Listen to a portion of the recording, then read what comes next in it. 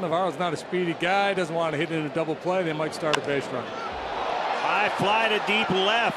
Viciedo back. This ball is gone! A two-homer day for Navarro.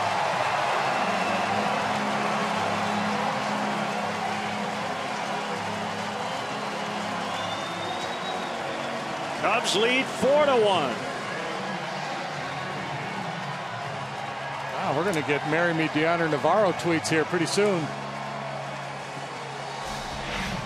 The home runs come in bunches for Dioner, and that appears to be another hanging changeup.